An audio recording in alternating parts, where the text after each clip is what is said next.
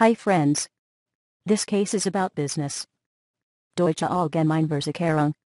The statistical process control is to be implemented by DAV in order to make the operations of the company efficient and flexible.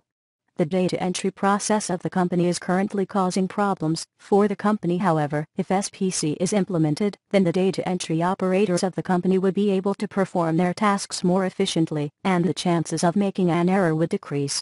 Thanks for watching this video.